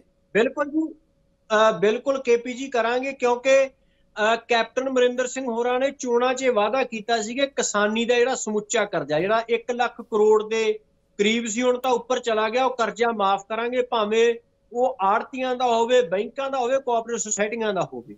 ਹੁਣ ਕੈਪਟਨ ਅਮਰਿੰਦਰ ਸਿੰਘ ਨੇ ਜਿਹੜਾ ਇਹ ਵਾਅਦਾ ਕੀਤਾ ਸੀਗਾ ਜੀ। ਕੈਪਟਨ ਅਮਰਿੰਦਰ ਸਿੰਘ ਨੇ ਜਿਹੜਾ ਇਹ ਵਾਅਦਾ ਕੀਤਾ ਸੀ ਉਸ ਤੋਂ ਪਹਿਲਾਂ ਪੰਜਾਬ ਦੀਆਂ ਕਿਸਾਨ ਜਥੇਬੰਦੀਆਂ ਕਿਸਾਨਾਂ ਦਾ ਕਰਜ਼ੇ ਤੇ ਲੀਕ ਮੌਲ ਲਈ ਲਹਿਰ ਚਲਾ ਰਹੀਆਂ ਸੀ ਜਿਸ ਕਰਕੇ ਜਦੋਂ ਇਹ ਮੋਮੈਂਟਮ ਗੇਨ ਕਰ ਗਈ ਮੂਵਮੈਂਟ ਤਾਂ ਉਹਦੇ ਚੋਂ ਕੈਪਟਨ ਅਮਰਿੰਦਰ ਸਿੰਘ ਦੀ ਇਹ ਸਿਆਸੀ ਮਜਬੂਰੀ ਬਣ ਗਈ ਕਿ ਜੇ ਵੋਟਾਂ ਲੈਣੀਆਂ ਕਿਸਾਨਾਂ ਦੀਆਂ ਤਾਂ ਕਰਜ਼ੇ ਦਾ ਮਾਫੀ ਦਾ ਵਾਅਦਾ ਕੀਤਾ ਜਾ ਸਕੇ ਜਿਹੜਾ ਕਿ ਉਹਨਾਂ ਨੇ ਜਿੱਤ ਤੋਂ ਬਾਅਦ ਵਫਾ ਨਹੀਂ ਕੀਤਾਗਾ। ਸੋ ਇਸ ਕਰਕੇ ਪੰਜਾਬ ਦੀ ਕਿਸਾਨੀ ਜਿਹੜੀ ਕਰਜ਼ੇ ਦੀ ਸ਼ਿਕਾਰ ਆ ਲਗਾਤਾਰ ਖੁਦਕੁਸ਼ੀਆਂ ਕਰ ਰਹੀਆਂ ਨੇ ਉਹਦੀ ਜਿਹੜੀ ਕਰਜ਼ਾ ਮੁਕਤੀ ਆ ਬਹੁਤ ਅਹਿਮ ਮੰਗ ਆ। ਔਰ ਇਹ ਮੰਗ ਦੇ ਵਾਸਤੇ ਕੈਪਟਨ ਸਰਕਾਰ ਨੂੰ ਵੀ ਘੇਰਿਆ ਜਾਊਗਾ ਜਦੋਂ ਖੇਤੀ ਕਾਨੂੰਨ ਵਾਪਸ ਆ ਗਏ। ਕੈਪਟਨ ਸਰਕਾਰ ਨੇ ਜੋ ਵਾਅਦਾ ਕੀਤਾ, ਉਹਨੂੰ ਘੇਰਿਆ ਜਾਊਗਾ, ਬਖਸ਼ਿਆ ਨਹੀਂ ਜਾਊਗਾ, ਜੋ ਉਹਨਾਂ ਨੇ ਜਿਸ ਜੋ ਵਾਅਦਾ ਕਰਕੇ ਵੋਟਾਂ ਲਈਆਂ ਸੀ। ਮੈਂ ਇੱਕ ਛੋਟਾ ਜਿਹਾ ਹੋਰ ਬ੍ਰੇਕ ਲਵਾਂ ਬ੍ਰੇਕ ਤੋਂ ਵਾਪਸ ਆਵਾਂ ਕੇ ਰਜਿੰਦਰ ਸਿੰਘ, ਦੀਪ ਸਿੰਘ ਵਾਲਾ ਤੇ ਨਿੱਜੀ ਤੌਰ ਤੇ ਬੜੇ ਹਮਲੇ ਕੀਤੇ ਗਏ, ਬੜੇ ਅਟੈਕ ਕੀਤੇ ਗਏ ਸ਼ਬਦੀ ਵਾਰ ਕੀਤੇ ਗਏ ਰਜਿੰਦਰ ਸਿੰਘ, ਦੀਪ ਸਿੰਘ ਵਾਲਾ ਤੇ ਸਵਾਲ ਬੜੇ ਚੁੱਕੇ ਗਏ ਆ ਕਿ ਇਹ ਸਟੂਡੈਂਟ ਲਹਿਰ ਦੇ ਵਿੱਚੋਂ ਨਿਕਲ ਕੇ ਆਏ ਆ, ਪੜ੍ਹੇ ਲਿਖੇ ਨੌਜਵਾਨ ਆ। ਇਹ ਜਿਸ ਤਰੀਕੇ ਨਾਲ ਜੋਸ਼ ਨਾਲ ਗੱਲ ਕਰਦੇ ਆ, ਉਹਨਾਂ ਤੇ ਵੀ ਸਵਾਲ ਚੁੱਕੇ ਗਏ ਆ। ਰਜਿੰਦਰ ਸਿੰਘ, ਦੀਪ ਸਿੰਘ ਵਾਲਾ ਤੇ ਅਸੀਂ ਸਵਾਲ ਪੁੱਛਾਂ ਕਿ ਰਜਿੰਦਰ ਸਿੰਘ, ਦੀਪ ਸਿੰਘ ਵਾਲਾ ਦੀ ਜਿਹੜੀ ਸਟੂਡੈਂਟ ਲਹਿਰ ਹੈ ਸਟੂਡੈਂਟ ਜੀਵਨ ਦੇ ਹੁੰਦਿਆਂ ਤੇ ਇਸ ਕਿਸਾਨ ਸੰਘਰਸ਼ ਦੇ ਵਿਚਾਲੇ ਉਹਨਾਂ ਨੂੰ ਫ਼ਰਕ ਕੀ ਲੱਗਿਆ ਤੇ ਉਹਨਾਂ ਤੇ ਜਿਹੜੇ ਨਿੱਜੀ ਅਟੈਕ ਕੀਤੇ ਗਏ ਆ ਸਨੇ ਪਰਿਵਾਰ ਤੇ, ਉਸ ਦਾ ਮਤਲਬ ਹੈ ਕੀ ਹੈ ਵਾਪਸ ਆ ਰਹੇ।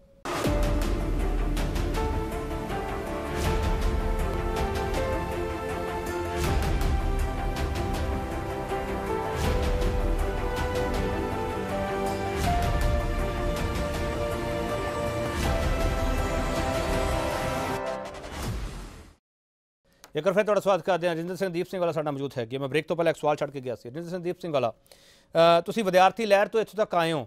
ਕੀ ਫ਼ਰਕ ਲੱਗਿਆ? ਵਿਦਿਆਰਥੀ ਲਹਿਰ ਦੇ ਵਿੱਚ ਜਿਹੜਾ, ਜਿਹੜੇ ਜਿਹੜੇ ਤੁਸੀਂ ਨਾਰੇ ਲਾਉਂਦੇ ਰਹੇ ਹੋ, ਜਿਹੜੇ ਭਾਸ਼ਣ ਦਿੰਦੇ ਰਹੇ ਹੋ, ਜਿਹੜੇ ਸੰਘਰਸ਼ ਕਰਦੇ ਰਹੇ ਹੋ, ਹੁਣ ਜਿਹੜਾ ਸੰਘਰਸ਼ ਹੈ, ਇਹ ਬਹੁਤ ਵੱਡੇ ਪੱਧਰ ਦਾ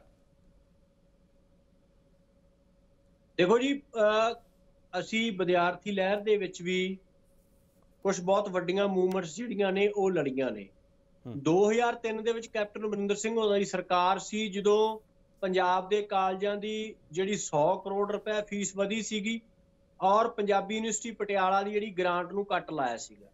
ਤੋਂ ਉਹਦੇ ਖਿਲਾਫ ਬਹੁਤ ਵੱਡਾ ਅੰਦੋਲਨ ਹੋਇਆ ਸੀਗਾ ਔਰ ਜਿੰਦੇ ਚ ਗਵਰਨਮੈਂਟ ਕਾਲਜ ਮਲੇਰਕੋਟਲਾ ਦੇ ਵਿੱਚ ਇੱਕ ਵੀ ਐਡਮਿਸ਼ਨ ਨਹੀਂ ਵਿਦਿਆਰਥੀਆਂ ਦੀ ਹੋਣ ਦਿੱਤੀ, ਬਾਈਕਾਟ ਕੀਤਾ ਗਿਆ ਸੀ ਕਿ ਜਿੰਨਾ ਚਿਰ ਫੀਸਾਂ ਨਹੀਂ ਵਾਪਸ ਹੁੰਦੀਆਂ, ਉਹਨਾਂ ਸਮਾਂ ਇਹ ਅੰਦੋਲਨ ਜਿਹੜਾ ਹੈਗਾ ਉਹ ਜਾਰੀ ਰਹੂਗਾ ਫੀਸਾਂ ਦਾ ਬਾਈਕਾਟ ਰਹੂਗਾ।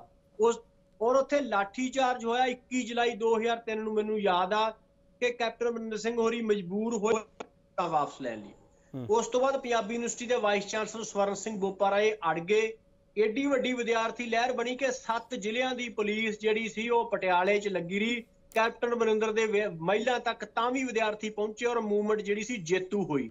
ਬਹੁਤ ਸਾਰੇ ਵਿਦਿਆਰਥੀ ਜਥੇਬੰਦੀ ਦੌਰਾਨ ਘੋਲ ਲੜੇ। ਜਿਹੜੇ ਕਿ ਜੇਤੂ ਰਹੇ ਔਰ ਉਦੋਂ ਵੀ ਸੰਘਰਸ਼ ਦੇ ਦੌਰਾਨ ਵਿਦਿਆਰਥੀ ਜੀਵਨ 'ਚ ਵੀ, ਜੇਲ੍ਹਾਂ 'ਚ ਵੀ ਗਏ, ਉਦੋਂ ਵੀ ਪੁਲਿਸ ਦੀ ਕੁੱਟ ਖਾਧੀ, ਪੁਲਿਸ ਨੇ ਇੱਕ ਵਾਰ ਪੈਰ ਵੀ ਤੋੜਿਆ ਮੇਰਾ ਕੁੱਟ ਕੇ ਔਰ ਬਿਲਕੁਲ ਉਹ ਸਾਰੇ ਸੰਘਰਸ਼ ਜੋ ਵਿਦਿਆਰਥੀ ਲਹਿਰ 'ਚ ਸਿੱਖਿਆ ਅਸੀਂ, ਸਮਝਿਆ ਸਰਕਾਰ ਦੀਆਂ ਨੀਤੀਆਂ ਨੇ, ਉਹ ਕਿਸਾਨ ਲਹਿਰ ਦੇ ਵਿੱਚ ਸਾਨੂੰ ਅੱਜ ਗੱਲਾਂ ਜਿਹੜੀਆਂ ਨੇ, ਉਹ ਕੰਮ ਦੇ ਰਹੀਆਂ ਨੇ। ਹਾਂ, ਇਹ ਅੰਦੋਲਨ ਜਿਹੜਾ ਸੀਗਾ, ਉਸ ਵਿਦਿਆਰਥੀ ਅੰਦੋਲਨ ਜਿਹੜੇ ਲੜੇ ਉਹਦੇ ਤੋਂ ਕਿਤੇ ਵੱਡਾ ਇਹ ਦੇਸ਼ ਵਿਆਪੀ ਜਿਹੜਾ ਹੈਗਾ ਅੰਦੋਲਨ ਆ ਇਹਦੇ ਚੋਂ ਬਹੁਤ ਕੁਝ ਸਾਨੂੰ ਜਿਹੜਾ ਸਿੱਖਣ ਨੂੰ ਮਿਲਿਆ ਹੈਗਾ ਪਰ ਜੋ ਵਿਦਿਆਰਥੀ ਲਹਿਰ ਚੋਂ ਸਿੱਖਿਆ ਉਹ ਸਾਰਾ ਕੁਝ ਮੈਨੂੰ ਹੁਣ ਇਸ ਮੂਵਮੈਂਟ ਦੌਰਾਨ ਜਿਹੜਾ ਕੰਮ ਦੇ ਰਿਹਾ। ਰਜਿੰਦਰ ਸਿੰਘ ਤੁਹਾਡੇ ਤੇ ਕੁਝ ਜਥੇਬੰਦੀਆਂ ਇਲਜ਼ਾਮ ਇਹ ਵੀ ਲਾਉਂਦੀਆਂ ਰਹੀਆਂ ਕਿ ਅ, ਰਜਿੰਦਰ ਸਿੰਘ ਦੀਪ ਸਿੰਘ ਆਪਦਾ ਨਿੱਜੀ ਏਜੰਡਾ ਸੈੱਟ ਕਰਦੇ ਰਹਿੰਦੇ ਆ ਉੱਥੇ। ਇਸ ਦਾ ਕੋਈ ਜਵਾਬ ਹੈ ਤੁਹਾਡੇ ਕੋਲੇ?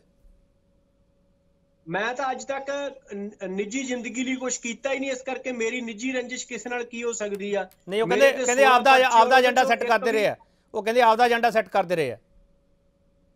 ਨਹੀਂ ਮੇਰਾ ਆਪਣਾ ਕੀ ਏਜੰਡਾ ਹੈਗਾ? ਹੂੰ। ਖੇਤੀ ਕਾਨੂੰਨ ਰੱਦ ਕਰਾਉਣ ਦੀ ਲੜਾਈ ਆ ਮੇਰਾ ਆਪਣਾ ਇਹ ਚ ਕੀ ਏਜੰਡਾ ਹੈਗਾ? ਖੇਤੀ ਕਾਨੂੰਨ ਰੱਦ ਕਰਾਉਣ ਦੀ ਲੜਾਈ ਆ ਔਰ ਉਹ ਲੜਾਈ ਜਿਹੜੀ ਹੈਗੀ ਆ, ਅਸੀਂ ਲੜ ਰਹੇ ਹੈਗੇ ਤੇ ਜਦੋਂ ਇਸ ਲੜਾਈ ਨੂੰ ਸਿੱਧ- ਅ, ਸਿੱਖ ਵਰਸਸ ਕਾਮਰੇਡ ਪੇਸ਼ ਕੀਤਾ ਜਾਂਦਾ ਉਦੋਂ ਰਜਿੰਦਰ ਸਿੰਘ ਦੀਪ ਸਿੰਘ ਵਾਲਾ ਨੂੰ ਗੁੱਸਾ ਹੁੰਦਾ ਮੈਨੂੰ ਆਵਾਜ਼ ਥੋੜਾ ਸਵਾਲ ਨਹੀਂ ਆਵਾਜ਼ ਬਹੁਤ ਘਟ ਗਈ ਥੋੜੀ ਜੀ। ਜਦੋਂ ਇਸ ਲੜਾਈ ਨੂੰ ਸਿੱਖ ਵਰਸਸ ਕਾਮਰੇਡ ਪੇਸ਼ ਕੀਤਾ ਜਾਂਦਾ ਉਦੋਂ ਰਜਿੰਦਰ ਸਿੰਘ ਨੂੰ ਗੁੱਸਾ ਆਉਂਦਾ? ਦੇਖੋ ਜਿਹੜੀ ਬੀਜੇਪੀ ਤੇ ਉਹਦੇ ਆਈਟੀ ਸੈੱਲ ਤੇ ਤਾਂ ਗੁੱਸਾ ਆਉਂਦੀ ਆ ਕਿਉਂਕਿ ਲਗਾਤਾਰ ਅੰਦੋਲਨ ਨੂੰ ਖਰਾਬ ਕਰਨ ਦੀਆਂ ਕੋਸ਼ਿਸ਼ਾਂ ਕਰ ਰਹੇ ਆ। ਜਦੋਂ ਪੰਜਾਬ 'ਚੋਂ ਅੰਦੋਲਨ ਚੱਲਿਆ ਸੀਗਾ ਔਰ ਦੇਖੋ ਕਿ 4 ਜੂਨ ਨੂੰ ਆਰਡੀਨੈਂਸ ਆਇਆ ਔਰ ਇਸ ਅੰਦੋਲਨ ਦਾ 1 ਸਾਲ ਪੂਰਾ ਹੋਣ 'ਚ ਸਿਰਫ 2 ਹਫ਼ਤੇ ਰਹਿ ਗਏ ਆ ਹਮ। 1 ਸਾਲ ਇਸ ਅੰਦੋਲਨ ਦਾ ਪੂਰਾ ਹੋ ਜਾਣਾ 6 ਮਹੀਨੇ ਦਿੱਲੀ ਗਿਆ ਨੂੰ ਪੂਰੇ ਹੋ ਗਏ ਆ ਜਦੋਂ ਦਿੱਲੀ ਪਹੁੰਚੇ ਆ ਉਦੋਂ ਤੱਕ ਅੰਦੋਲਨ ਦੇਸ਼ ਭਰ ਚ ਫੈਲਣ ਦੀਆਂ ਸੰਭਾਵਨਾ ਬਣ ਚੁੱਕੀਆਂ ਸੀ ਪੂਰਾ ਪੰਜਾਬ ਹਰਿਆਣਾ ਖੜਾ ਹੋ ਚੁੱਕਾ। ਉਦੋਂ ਕੌਣ ਕਾਮਰੇਡ ਸੀ ਉਦੋਂ ਕੌਣ ਸਿੱਖ ਸੀ ਸਿਰਫ ਕਿਸਾਨੀ ਸੀਗੀ। ਇਹ ਜਦੋਂ ਇਸ ਅੰਦੋਲਨ ਨੂੰ ਕੁਝ ਤਾਕਤਾਂ ਨੇ ਖਰਾਬ ਕਰਨ ਦੀ ਕੋਸ਼ਿਸ਼ ਕੀਤੀ ਆ ਜਿਹੜੇ ਕਦੀ ਸਾਡੀਆਂ ਸਟੇਜਾਂ ਤੇ ਕਬਜ਼ਾ ਕਰਦੇ ਆ ਕਦੇ ਉਹ ਸਾਡਾ ਜੋ ਤੈਅ ਪ੍ਰੋਗਰਾਮ ਆ ਉਹਦੇ ਉਲਟ ਪ੍ਰੋਗਰਾਮ ਦਿੰਦੇ ਹੈਗੇ ਆ ਕਦੇ ਉਹ ਲੀਡਰਸ਼ਿਪ ਨੂੰ ਭੰਡਦੇ ਆ ਉਹ ਸਾਰੀਆਂ ਫੋਰਸਸ ਤੇ ਬੀਜੇਪੀ ਦਾ ਆਈਟੀ ਸੈੱਲ ਇਸ ਤਰ੍ਹਾਂ ਦੀਆਂ ਗੱਲਾਂ ਕਰਨ ਲੱਗਾ ਹੋਇਆ ਵੀ ਸਿੱਖ ਵਰਸਸ ਕਾਮਰੇਡ, ਇਹਦੇ 'ਚ ਸਿਰਫ ਕਿਸਾਨੀ ਲੜ ਰਹੀ ਹੈਗੀ ਆ, ਉਹ ਕਿਸੇ ਵੀ ਵਿਚਾਰਧਾਰਾ ਨਾਲ ਹੋ ਸਕਦੀ ਆ, ਉਹ ਕਿਸੇ ਵੀ ਧਰਮ ਨੂੰ ਫੋਲੋ ਕਰਦੀ ਹੋ ਸਕਦੀ ਆ, ਪਰ ਉਹ ਤਿੰਨ ਖੇਤੀ ਕਾਨੂੰਨ ਰੱਦ ਕਰਾਉਣ ਆਈ ਆ, ਔਰ ਕਿਸਾਨ ਜਥੇਬੰਦੀਆਂ ਵੀ ਇਸੇ ਏਜੰਡੇ ਤੇ ਜਿਹੜੀਆਂ ਲੜ ਰਹੀਆਂ ਨੇ ਜਿਹੜੀ ਇਸ ਤਰ੍ਹਾਂ ਦੀਆਂ ਖੇਡਾਂ ਖੇਡਦੇ ਅਸਲ 'ਚ ਸਾਰੀਆਂ ਕੇਂਦਰ ਸਰਕਾਰ ਦੀਆਂ ਜਿਹੜੀਆਂ ਚਾਲਾਂ ਨੇ ਕਿਸਾਨੀ ਅੰਦੋਲਨ ਨੂੰ ਪਾੜਨ ਵਾਸਤੇ, ਤਾਰ ਪੀਡੋ ਕਰਨ ਵਾਸਤੇ। ਤੁਹਾਨੂੰ ਬੜਾ ਟਾਰਗੇਟ ਕੀਤਾ ਗਿਆ ਜੋ ਤੁਸੀਂ ਸਟੇਜ ਤੋਂ ਦੀਪ ਸਿੱਧੂ ਤੇ ਲੱਖਾ ਸਤਾਨਾ ਦੇ ਖਿਲਾਫ ਬੋਲੇ ਸੀਗੇ। ਅੱਜ ਤੁਹਾਨੂੰ ਉਹਨਾਂ ਤੇ ਕੋਈ ਮਲਾਲ ਹੈਗਾ? ਨਹੀਂ ਜੀ ਨਹੀਂ ਜਿਹੜੇ ਵੀ ਅੰਦੋਲਨ ਨੂੰ ਖਰਾਬ ਕਰਨ ਦੀ ਕੋਸ਼ਿਸ਼ ਕਰਨਗੇ ਸੰਯੁਕਤ ਕਿਸਾਨ ਮੋਰਚੇ ਦੇ ਸੱਦੇ ਦੇ ਉਲਟ ਜਾਣਗੇ ਉਹਨਾਂ ਫੋਰਸਸ ਨੂੰ ਲੋਕਾਂ 'ਚ ਬੇਪਰਦ ਕਰਨਾ ਜਿਹੜਾ ਬਿਲਕੁਲ ਜ਼ਰੂਰੀ ਆ। ਜਦੋਂ ਅਸੀਂ ਅਹ, 27 ਤਰੀਕ ਨੂੰ ਬੋਲੇ ਤੇ ਕੁਝ ਲੋਕਾਂ ਨੂੰ ਇਤਰਾਜ਼ ਸੀ ਪਰ ਉਹੀ ਫੋਰਸਸ ਨੇ ਜਦੋਂ ਲੀਡਰਸ਼ਿਪ ਦਾ ਦੂਜਿਆਂ ਦਾ ਘਰਾਓ ਕੀਤਾ ਤਾਂ ਬਹੁਤ ਸਾਰੇ ਲੋਕਾਂ ਨੂੰ ਸਾਫ਼ ਹੋ ਗਿਆ ਕਿ ਜਿਹੜੀਆਂ ਇਹ ਫੋਰਸਸ ਨੇ ਇਹਨਾਂ ਦੇ ਨਾਲ ਨਿਖੇੜਾ ਕਰਨਾ ਜਿਹੜਾ ਹੈਗਾ, ਉਹ ਜ਼ਰੂਰੀ ਹੈਗਾ। ਔਰ ਅਸੀਂ ਜੋ ਕੁਝ ਵੀ ਬੋਲੇ ਆ, ਸੰਯੁਕਤ ਕਿਸਾਨ ਮੋਰਚੇ ਦਾ ਜੋ ਫੈਸਲਾ ਹੁੰਦਾ ਸੀ, ਉਹਦੇ ਮੁਤਾਬਕ ਹੀ ਬੋਲਦੇ ਰਹੇ ਆ। ਔਰ ਜੇਕਰ ਜਿਹੜੇ ਲੋਕਾਂ ਨੂੰ ਸਾਡੇ ਬੋਲਣ ਤੇ ਇਤਰਾਜ਼ ਆ, ਅਸੀਂ ਉਹਨਾਂ ਨੂੰ ਇਹ ਵਾਰ-ਵਾਰ ਕਹਿੰਦੇ ਆ ਕਿ ਜੇ 25 ਜਨਵਰੀ ਦੀ ਰਾਤ ਸਟੇਜ 'ਚੋਂ, ਇਤਿਹਾਸ 'ਚੋਂ ਨਿਕਲ ਸਕਦੀ ਹੈ ਜਿੱਦਣ ਸਾਡੀ ਸਟੇਜ ਤੇ ਕਬਜ਼ਾ ਹੋਇਆ। ਜੇ 26 ਜਨਵਰੀ ਦਾ ਦਿਨ ਇਤਿਹਾਸ 'ਚੋਂ ਨਿਕਲ ਸਕਦਾ, ਜਿੱਦਣ ਸਾਡੇ ਅੰਦੋਲਨ ਨੂੰ ਤਾਰ ਪੀਡੋ ਕਰਨ ਦੀ ਕੋਸ਼ਿਸ਼ ਕੀਤੀ ਗਈ, ਤਾਂ 27 ਤਰੀਕ ਦਾ ਭਾਸ਼ਣ ਵੀ ਮੇਰਾ ਜਿਹੜਾ ਇਤਿਹਾਸ 'ਚੋਂ ਨਿਕਲ ਜੂਗਾ। ਪਰ ਜੇ 25 ਦੀ ਰਾਤ ਇਤਿਹਾਸ 'ਚ ਆ 26 ਜਨਵਰੀ ਦਾ ਦਿਨ ਇਤਿਹਾਸ 'ਚ ਆ ਫਿਰ 27 ਦਾ ਭਾਸ਼ਣ ਮੇਰਾ ਅਟਲ ਉਸੇ ਤਰ੍ਹਾਂ ਡਟ ਕੇ ਖੜੇ ਆ ਕੱਲੇ ਕੱਲੇ ਸ਼ਬਦ ਤੇ। ਜਿਹੜੇ ਵੀ ਸਾਡੇ ਅੰਦੋਲਨ ਨੂੰ ਤਾਰ ਪੀਡੋ ਕਰਨ ਦੀਆਂ ਕੋਸ਼ਿਸ਼ਾਂ ਕਰਨਗੇ, ਉਹਨਾਂ ਫੋਰਸਸ ਨੂੰ ਲੋਕਾਂ ਦੇ ਸਾਹਮਣੇ ਬੇਪਰਦ ਕਰਨਾ ਜਿਹੜਾ ਬਿਲਕੁਲ ਜ਼ਰੂਰੀ ਆ, ਔਰ ਇਹ ਅੰਦੋਲਨ ਦੇ ਹਿੱਤ ਵਿੱਚ ਵੀ। ਰਜਿੰਦਰ ਸਿੰਘ ਤੁਹਾਨੂੰ ਗੁੱਸਾ ਜ਼ਿਆਦਾ ਆਉਂਦਾ? ਹਾਂਜੀ ਤੁਹਾਨੂੰ ਗੁੱਸਾ ਜ਼ਿਆਦਾ ਆਉਂਦਾ? ਨਹੀਂ ਗੁੱਸਾ ਤਾਂ ਸਾਰੇ ਲੋਕਾਂ ਨੂੰ ਆਉਂਦਾ ਗੁੱਸਾ ਤਾਂ ਮਨੁੱਖ ਦੀ ਤਾਕਤ ਹੁੰਦਾ ਜਿਹੜੀ ਮਨੁੱਖ ਦੀ ਤਾਕਤ ਹੁੰਦਾ ਗੁੱਸਾ ਜਿਹੜੇ ਲੋਕਾਂ ਨੂੰ ਗੁੱਸਾ ਆਉਣਾ ਹਟ ਜਾਂਦਾ ਹੈਗਾ ਉਹ ਪੈਸਿਵ ਹੋ ਸਕਦੇ ਉਹ ਜ਼ਿੰਦਗੀ 'ਚ ਗਲਤ ਦੇ ਖਿਲਾਫ ਕਦੇ ਲੜ ਹੀ ਨਹੀਂ ਸਕਦੇਗੇ। ਇਹ ਸਾਰੇ ਮਨੁੱਖ ਦੇ ਇਮੋਸ਼ਨਸ ਨੇ ਗੁੱਸਾ ਪਿਆਰ ਜਿਹੜਾ ਹੈਗਾ ਸਾਰੇ ਮਨੁੱਖ ਦੇ ਇਮੋਸ਼ਨਸ ਨੇ ਪਰ ਬੰਦੇ ਨੂੰ ਪਤਾ ਹੋਣਾ ਚਾਹੀਦਾ ਵੀ ਗੁੱਸਾ ਜਿਹੜਾ ਹੈਗਾ, ਉਹ ਕਿੰਦੇ ਖਿਲਾਫ ਹੋਣਾ ਚਾਹੀਦਾ ਹੈਗਾ। ਸਾਡਾ ਗੁੱਸਾ ਕੇਂਦਰ ਸਰਕਾਰ ਦੇ ਖਿਲਾਫ ਆ ਔਰ ਉਹਨਾਂ ਫੋਰਸਸ ਦੇ ਖਿਲਾਫ ਆ ਜਿਹੜੀਆਂ ਇਸ ਲੋਕਾਂ ਦੀ ਜਿਹੜੀ ਰੋਜੀ ਰੋਟੀ ਦੀ ਲੜਾਈ ਆ, ਇਹਨੂੰ ਖਰਾਬ ਕਰਨ ਦੀਆਂ ਕੋਸ਼ਿਸ਼ਾਂ ਕਰਦੇ। ਰਜਿੰਦਰ ਸਿੰਘ, ਜਿਸ ਤਰੀਕੇ ਨਾਲ ਸੰਘਰਸ਼ ਦੇ ਵਿਚਾਲੇ ਤੁਸੀਂ ਕਹਿ ਰਹੇ ਹੋ ਤਾਰ ਪੀੜੋ ਹੋਣ ਦੀਆਂ ਬਹੁਤ ਵਾਰ ਕੋਸ਼ਿਸ਼ਾਂ ਹੋਈਆਂ, ਟਿਕਰੀ ਬਾਰਡਰ ਵਾਲਾ ਮਾਮਲਾ ਸਾਡੇ ਸਾਹਮਣੇ ਖੜਾ ਆ ਗਿਆ ਤੇ ਉਸ ਦੇ ਵਿੱਚ ਸੰਯੁਕਤ ਕਿਸਾਨ ਮੋਰਚੇ ਨੇ ਬਹੁਤ ਸਫਾਈਆਂ ਦਿੱਤੀਆਂ, ਦਲੀਲਾਂ ਦਿੱਤੀਆਂ। 26 ਜਨਵਰੀ ਵਾਲਾ ਮਾਮਲਾ ਤੁਹਾਡੇ ਸਾਹਮਣੇ ਖੜਾ ਹੈ। ਇਸ ਤੋਂ ਇਲਾਵਾ ਹੋਰ ਕਈ ਇਹੋ ਜਿਹੇ ਮਾਮਲੇ ਹੈ ਕੀ ਹੈ? ਕਿਸਾਨ ਸੰਘਰਸ਼ ਨੂੰ ਕਿਵੇਂ ਬਚਾਓਗੇ ਰਜਿੰਦਰ ਸਿੰਘਦੀਪ ਸਿੰਘ ਵਾਲਾ? ਬਹੁਤ ਵੱਡਾ ਚੈਲੰਜ ਹੈ ਤੁਹਾਡੇ ਅੱਗੇ। ਦੇਖੋ ਜੀ, ਇਹ ਅੰਦੋਲਨ ਕਿਸਾਨੀ ਦਾ ਅੰਦੋਲਨ, ਉੱਚਾ ਤੇ ਸੁੱਚਾ ਅੰਦੋਲਨ ਆ। ਇਹਦੀਆਂ ਜੜ੍ਹਾਂ ਇੰਨੀਆਂ ਗਹਿਰੀਆਂ ਹੋਊਗੀਆਂ ਕਿ ਇਸ ਅੰਦੋਲਨ ਨੂੰ ਕੋਈ ਵੀ ਖਰਾਬ ਨਹੀਂ ਕਰ ਸਕਦੀ। ਤੁਸੀਂ ਦੇਖੋ ਕਿ ਗਾਜੀਪੁਰ ਬਾਰਡਰ ਤੇ ਸਰਕਾਰ ਨੇ ਪੰਗਾ ਲੈਣ ਦੀ ਕੋਸ਼ਿਸ਼ ਕੀਤੀ ਔਰ ਉਹ ਰਿਐਕਸ਼ਨ ਚੋਂ ਅੰਦੋਲਨ ਜਿਹੜਾ ਹੋਰ ਮਜ਼ਬੂਤ ਹੋਇਆ। ਤੋਂ ਇਸ ਅੰਦੋਲਨ ਨੂੰ ਸਰਕਾਰ ਦੀਆਂ ਜਿੰਨੀਆਂ ਮਰਜ਼ੀ ਸਾਜ਼ਿਸ਼ਾਂ ਹੋਣ ਸਰਕਾਰ ਇਸ ਅੰਦੋਲਨ ਨੂੰ ਖਰਾਬ ਨਹੀਂ ਕਰ ਸਕਦੀ। ਕਿਸਾਨ ਸਾਰੀਆਂ ਸਾਜ਼ਿਸ਼ਾਂ ਨੂੰ ਜਿਹੜਾ ਹੈਗਾ ਉਹ ਸਮਝਦੇ ਆ ਔਰ ਅੰਦੋਲਨ ਦੇ ਨਾਲ ਔਰ ਸੰਯੁਕਤ ਕਿਸਾਨ ਮੋਰਚੇ ਦੀ ਲੀਡਰਸ਼ਿਪ ਦੇ ਨਾਲ ਉਹ ਡਟ ਕੇ ਖੜੇ ਨੇ। ਅ, ਕਰੋਨਾ ਸੰਕਟ ਦੇ ਵਿਚਾਲੇ ਤੁਹਾਡੇ ਤੇ ਬਹੁਤ ਸਾਰੇ ਸਵਾਲ ਖੜੇ ਕੀਤੇ ਜਾ ਰਹੇ ਆ। ਹਰਿਆਣਾ ਦੇ ਸਿਹਤ ਮੰਤਰੀ ਸਵਾਲ ਖੜੇ ਕਰਦੇ ਆ ਕੇਂਦਰੀ ਮੰਤਰੀ ਸਵਾਲ ਖੜਾ ਕਰਦੇ ਆ। ਇਹਨਾਂ ਸਵਾਲਾਂ ਨੂੰ ਐਡਰੈਸ ਕਿਵੇਂ ਕਰੋਗੇ? ਉਹ ਕਹਿੰਦੇ ਤੁਸੀਂ ਬਹੁਤ ਅ, ਜਾਨਾਂ ਦੇ ਦੁਸ਼ਮਣ ਬਣੇ ਬੈਠੇ ਹੋ ਉੱਥੇ ਬਾਰਡਰ ਤੇ। ਕੇਪੀ ਜੀ ਕਰੋਨਾ ਨੂੰ ਖਤਮ ਕਰਨ ਵਾਸਤੇ ਕਿਸਾਨ ਅੰਦੋਲਨ ਨੂੰ ਤੇਜ਼ੀ ਨਾਲ ਲੜਨਾ ਬਹੁਤ ਜ਼ਰੂਰੀ ਆ। ਕਿਉਂਕਿ ਦੇਖੋ ਦੁਨੀਆ ਦੇ ਵਿੱਚ ਬਹੁਤ ਸਾਰੀਆਂ ਬਿਮਾਰੀਆਂ ਦਵਾਈ ਆਉਣ ਤੋਂ ਪਹਿਲਾਂ ਖਤਮ ਹੋਈਆਂ ਨੇ। ਤੁਸੀਂ ਯੂਰਪ ਦੀ ਹਿਸਟਰੀ ਚੱਕ ਕੇ ਦੇਖ ਲਓ ਕਿ ਮੀਜ਼ਲਸ ਦੇ ਨਾਲ ਬਹੁਤ ਸਾਰੀਆਂ ਮੌਤਾਂ ਹੁੰਦੀਆਂ ਸੀ ਛੋਟੀ ਮਾਤਾ ਦੇ ਨਾਲ। ਟੀਬੀ ਦੇ ਨਾਲ ਬਹੁਤ ਸਾਰੀਆਂ ਮੌਤਾਂ ਹੁੰਦੀਆਂ ਸੀਗੀਆਂ ਔਰ ਬਹੁਤ ਸਾਰੀਆਂ ਮੌਤਾਂ ਇਨਫੈਕਸ਼ਨ ਦੇ ਨਾਲ ਹੁੰਦੀਆਂ ਸੀ। ਇਨਫੈਕਸ਼ਨ ਦੇ ਨਾਲ, ਮੀਜ਼ਲ ਦੇ ਨਾਲ ਔਰ ਟੀਬੀ ਦੇ ਨਾਲ ਮੌਤਾਂ ਜਿਹੜੀਆਂ ਸੀ, ਮੌਤ ਦਰ ਬਹੁਤ ਘਟ ਗਈ, ਲਗਭਗ ਨਾ ਮਾਤਰ ਆ ਗਈ। ਦਵਾਈ ਉਹ ਤੋਂ ਬਾਅਦ ਚ ਮੌਤ ਦਰ ਪਹਿਲਾਂ ਕੱਢੀ, ਦਵਾਈ ਉਹ ਤੋਂ ਬਾਅਦ ਚ ਉਦੋਂ ਪਹਿਲਾਂ ਕੀ ਆ ਗਿਆ ਸੀ? ਉਦੋਂ ਪਹਿਲਾਂ ਉੱਥੇ ਲੋਕਾਂ ਨੂੰ ਚੰਗੀ ਖੁਰਾਕ ਮਿਲਣੀ ਸ਼ੁਰੂ ਹੋ ਗਈ ਸੀ। ਯੂਰਪ ਦੇ ਇੰਡਸਟਰੀਅਲ ਰੈਵੋਲੂਸ਼ਨ ਨੇ ਲੋਕਾਂ ਦਾ ਜਿਹੜਾ ਲਾਈਫ ਸਟੈਂਡਰਡ ਜਿਹੜਾ ਸੀ ਉਹ ਬਿਹਤਰ ਕੀਤਾ, ਤਾਂ ਦਵਾਈਆਂ ਆਉਣ ਤੋਂ ਪਹਿਲਾਂ ਬਿਮਾਰੀਆਂ ਉਹਨਾਂ ਨੇ ਖਤਮ ਕਰ ਲਈਆਂ। ਔਰ ਵਿਸ਼ਵ ਸਿਹਤ ਸੰਸਥਾ ਚੰਗੀ ਸਿਹਤ ਦੇ ਲਈ ਖੁਰਾਕ ਨੂੰ ਪਹਿਲੇ ਨੰਬਰ ਤੇ ਰੱਖਦੀ ਆ ਔਰ ਭਾਰਤ ਸਰਕਾਰ ਜਿਹੜੀ ਹੈ ਅਸੈਂਸ਼ੀਅਲ ਕਮੋਡਿਟੀ ਐਕਟ ਦੇ ਰਾਹੀਂ 67% ਦੀ ਲੋਕਾਂ ਤੋਂ ਸਸਤੇ ਰਾਸ਼ਨ ਦੀ ਸੁਵਿਧਾ ਖੋਣੀ ਚਾਹੁੰਦੀ ਆ ਤਾਂ ਦੇਸ਼ 'ਚ ਭੁੱਖਮਰੀ ਵਧੂਗੀ ਕਮਜ਼ੋਰੀ ਵਧੂਗੀ ਤੇ ਬਿਮਾਰੀਆਂ ਹੋਰ ਫੈਲਣਗੀਆਂ। ਇਸ ਕਰਕੇ ਇਹ ਜੇ ਮਹਾਮਾਰੀਆਂ ਤੇ ਬਿਮਾਰੀਆਂ ਤੋਂ ਦੇਸ਼ ਨੂੰ ਬਚਾਉਣਾ ਤੇ ਲੋਕਾਂ ਨੂੰ ਚੰਗੀ ਖੁਰਾਕ ਦੀ ਜ਼ਰੂਰਤ ਆ ਤੇ ਜੇ ਚੰਗੀ ਖੁਰਾਕ ਚਾਹੀਦੀ ਆ ਤੇ ਤਿੰਨ ਖੇਤੀ ਕਾਨੂੰਨ ਰੱਦ ਕਰਾਉਣੇ ਜ਼ਰੂਰੀ ਆ ਤੇ ਤਿੰਨ ਖੇਤੀ ਕਾਨੂੰਨ ਰੱਦ ਤਾਂ ਹੋਣਗੇ ਜੇ ਕਿਸਾਨ ਅੰਦੋਲਨ ਇਸੇ ਤਰ੍ਹਾਂ ਜਾਰੀ ਰਹੂਗਾ। ਇੱਕ ਆਖਰੀ ਸਵਾਲ ਇਸ ਸੰਘਰਸ਼ ਦੇ ਵਿਚਾਲੇ ਨੌਜਵਾਨਾਂ ਤੇ ਜਿਹੜੇ ਬਾਕੀ ਸੀਨੀਅਰ ਲੀਡਰ ਹੈ ਉਹਨਾਂ ਨੂੰ ਵੱਖ-ਵੱਖ ਕਰਨ ਦੀ ਕੋਸ਼ਿਸ਼ ਕੀਤੀ ਗਈ। ਰਜਿੰਦਰ ਸਿੰਘ ਦੀਪ ਸਿੰਘ ਵਾਲਾ ਕਿਹੜੀ ਕਤਾਰ 'ਚ ਖੜੇ?